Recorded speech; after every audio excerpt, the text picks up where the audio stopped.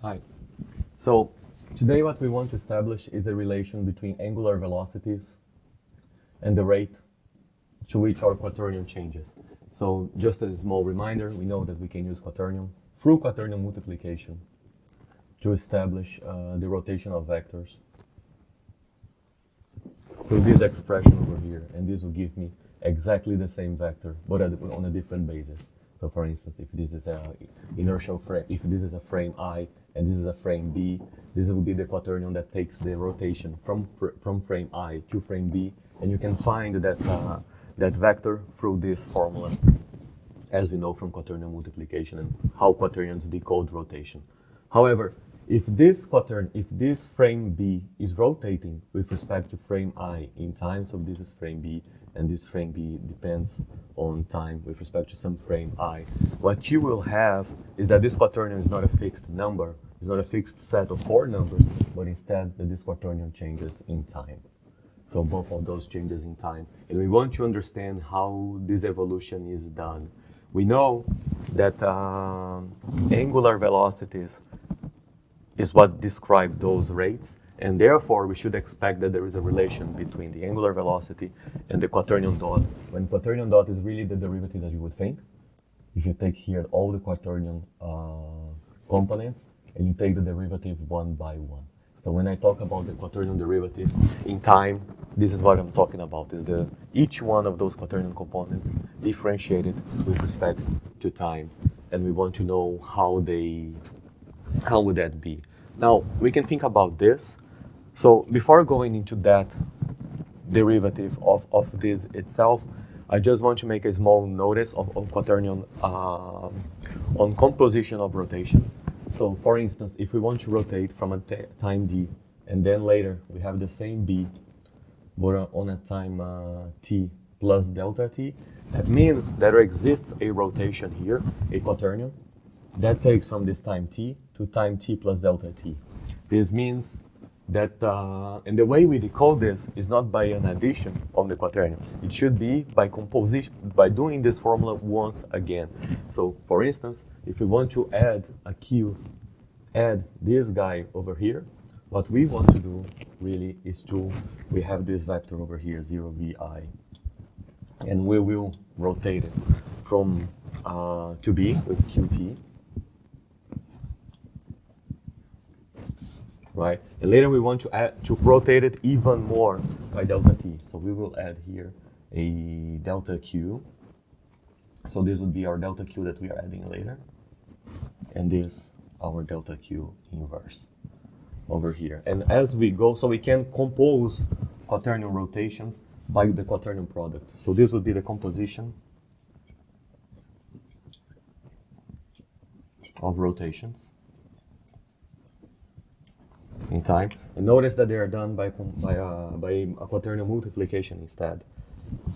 So we need, so the derivative, but the derivative here is really what you would expect. It's just the normal dif differentiation. I mean, when I think of a q dot, right, what I'm really thinking is on the limit when time goes to zero of q plus delta t minus q of t divided by delta t. But this is not exactly a rotation because quaternions, they just do not work that way. The way they compose rotations is through multiplication. So let's apply that inside. Uh, this will be the limit, delta t from zero. Now, this, the q at t plus delta t is really the q of t with this delta q now, now minus q of t divided by delta t. Notice that my limit is taken with respect to delta t, so this 2 can go outside the limit, and what we will have is qt times the limit. And this times, it's really a quaternion times through delta q minus 1 divided by t. And this one is the unit quaternion. Uh, so this is the unit, the quaternion unit.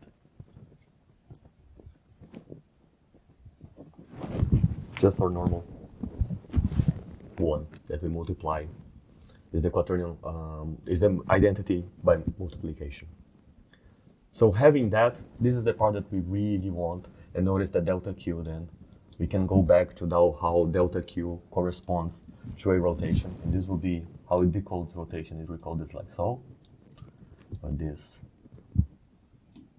So if we have, this is how quaternion relates to a delta angle and the axis of rotation. And for very small thetas, we, since this is a limiting uh, condition, what we have over here is that this cosine of theta minus 1 will be, for the, in the limiting case, this will be 1. In the limiting case, this will be the, the instantaneous axis of rotation, and the sine of theta for very limiting angles will become like so. And then we add this to the limit over here, this minus 1 will cancel this one over here. And we will have then that this limit, in the end of the day, will be q of t quaternion multiplied by uh, minus 1 will be then 0 over here. This n stays over there, divided by these 2, and delta t over delta t will give you the angular velocity. And this will give us what we wanted, which is this angular velocity in the very beginning. So this is our omega. And therefore, what we have is that q dot is equal to q 1 half of q multiplied by omega, by 0 omega. So this is the final formula that we want.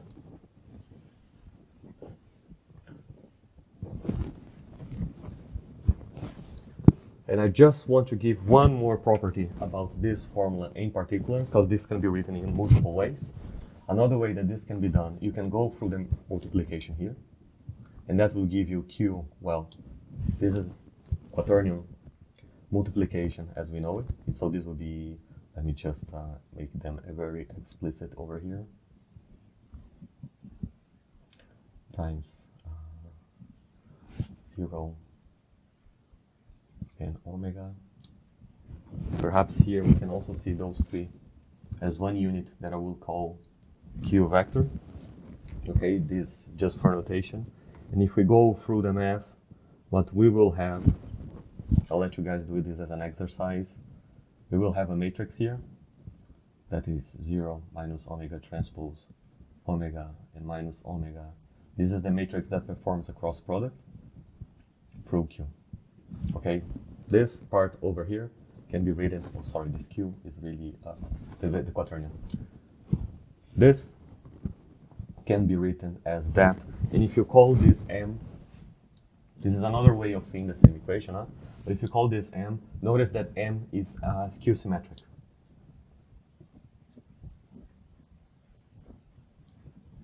Meaning that if you take M transpose, M transpose will be the transpose of this matrix, so be zero. Over here, we will have this guy over there, so it will be omega transpose.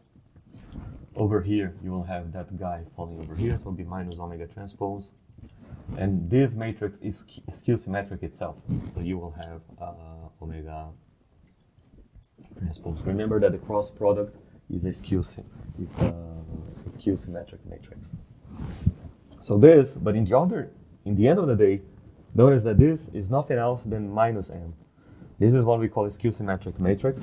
Means that when you take the transpose, you get the minus of it. And that's extremely interesting for differential equations because of the following. Uh, if you take the norm of a quaternion, right, so take the norm squared of a quaternion, and I want to know how the norm itself, this is a number, uh, this is a real number, and I want to know what happens to the derivative of this number in time. So the derivative of that number, well, we can compute it. This, the norm of a quaternion can be written in vector form as q transpose q, right, the norm squared. So if you take that derivative, this will give us 2 q trans transpose times q dot. This is the derivative of, uh, of two vectors. q dot, now we know how to compute it. So this will give me 2q transpose times q dot, which is uh, 1 half so this half will go over here. Uh, one half of this n times q itself. And now I just want to analyze this a little bit further. What is that? So uh, that is a number, still, this is a real number. And any real number, of course, since that's just a number, every number is equal to its transpose, right? So I'm expecting Q transpose and Q to be equal to Q transpose and Q transpose. That's simply by the fact that this is a real number.